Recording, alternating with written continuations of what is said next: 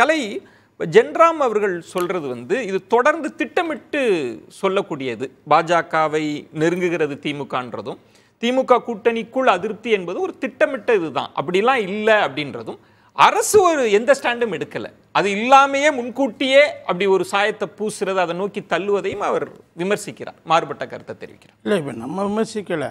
கூட்டணி கட்சிகள் தான் விமர்சிக்கிறாங்க. அவங்க வந்து திமுக பாஜக பக்கம் போயிடுச்சா? அப்படின்னா எல்லாரும் சொல்கிறாங்க நான் நினைக்கிறேன் அவங்க போயிட்டாங்க. என்ன? எப்படி? போயிட்டாங்க.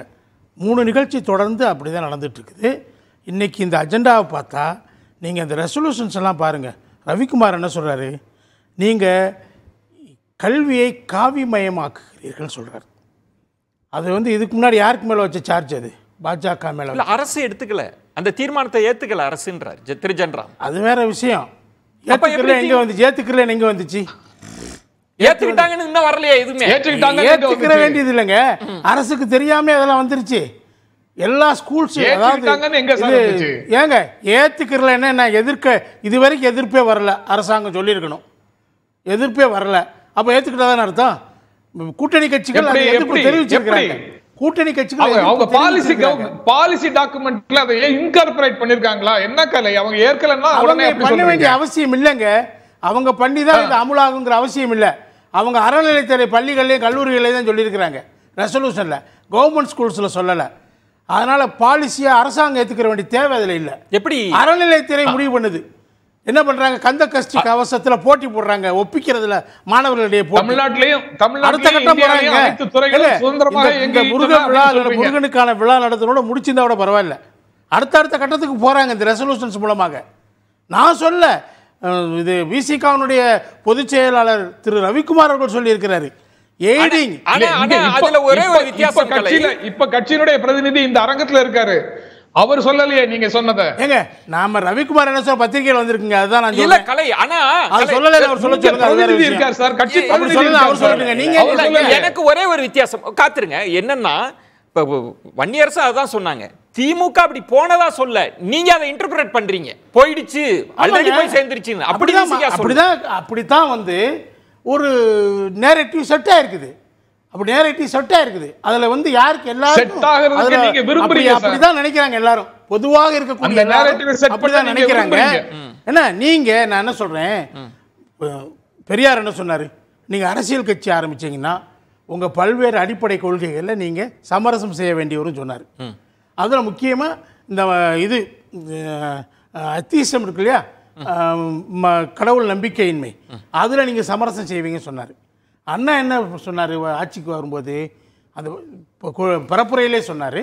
நாங்கள் ஆட்சிக்கு வந்தால் ஒன்றே குணம் ஒருவனே தேவன். தேவன்கிற விஷயத்தை நாங்கள் சொன்னார். ஆனால் அதே சமயத்தில் அண்ணா என்ன விளக்கம் கொடுத்தாருன்னா நாங்கள் பிள்ளையார் சிலையை உடைக்க மாட்டோம்.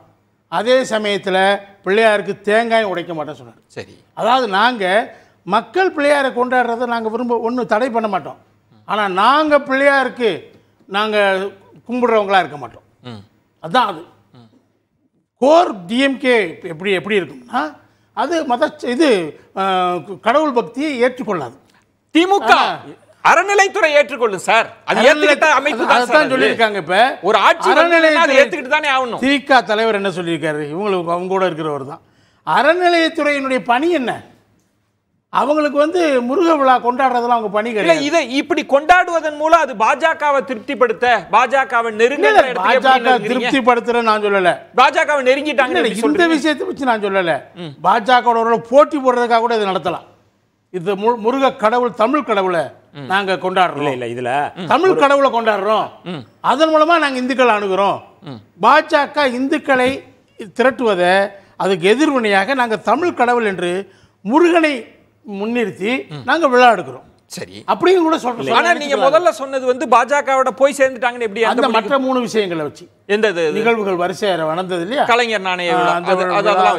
இல்ல அண்ணன் வந்து அந்த என்னைய பேச விடுங்க இல்ல, ஒரு- ஒரு. செய்தி- ஒரு செய்தியா? அவர் பேசினாரு இப்ப நீங்க பேசுறீங்க இல்ல நல்லா இருக்கு விவாதம் நல்லா இருக்கு. போற போக்குல பேசும்போது. எங்க கட்சியினுடைய பொதுச் செயலாளர் அறிஞர் ரவிக்குமார் அவர்கள் பேசியதா ஒரு செய்தியை சொல்றாரு.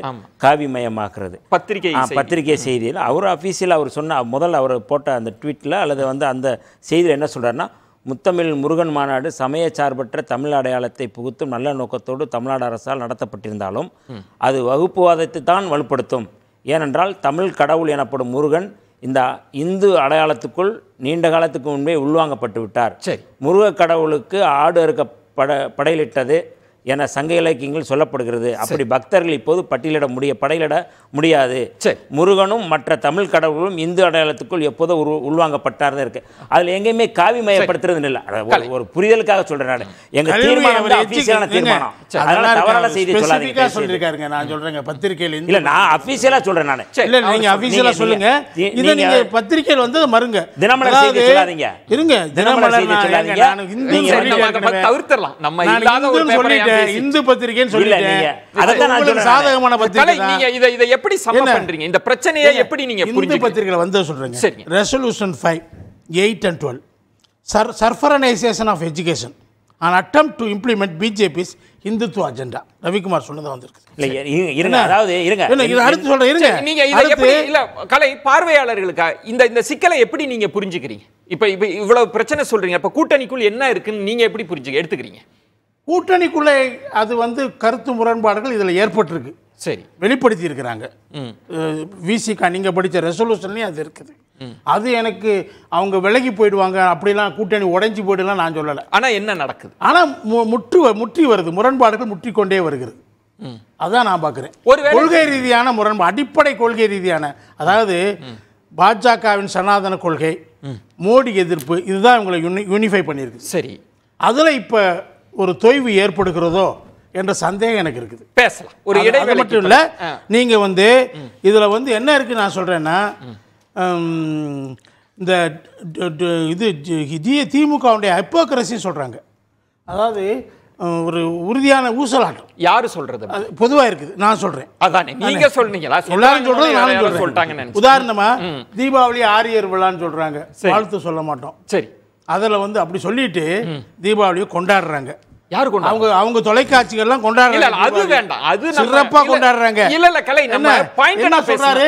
என்னுடைய மனைவி போகாத கோவிலே தமிழ்நாட்டுல இல்ல அது. வேற. என்ன? நான் என்ன சொல்றேன்? கலை நம்ம கூட்டணிக்குள்ள நம்ம இப்படி தனி மனிதரா சுருக்கிட்டா விவாதிக்கிறது இல்ல இல்ல இல்ல இதெல்லாம் வந்து சரி இல்ல அதெல்லாம் நீங்க இந்த மாதிரி விஷயங்களை சாக்கு வச்சு தனி மனிதர்களை தன்- தனி மனிதர்கள் மேல இருக்கக்கூடிய காழ்ப்பை வெளிப்படுத்துவதுதான் இவர்களுடைய நோக்கம். எனக்கு எந்த கிடையாது. அரசியல் உங்களுக்கு பேச மாட்டாங்க. இது போன்ற தனி மனிதர் மேல. காழ்ப்பு ஒரு இயக்கத்தின் ஒரு எனக்கு ஒரு சந்தேகம் வந்திருக்கு. சரி பேசலாம். அது வந்து பெரியாரிஸ்டா இருக்காங்களா? அவங்க திராவிட கொள்கைகள்ல நிக்கிறாங்களா? இல்ல இந்துத்துவ கோட்பாட்டுக்குள்ள போறாங்களா? அப்படிங்கறது தான் என்னுடைய.